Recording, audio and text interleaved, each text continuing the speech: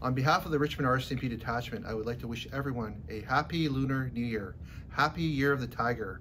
Gong Xi Fa Cai, Shen Ti Jian Kang, Gong Hei Fa Choi, Sun Tai Kin Hong.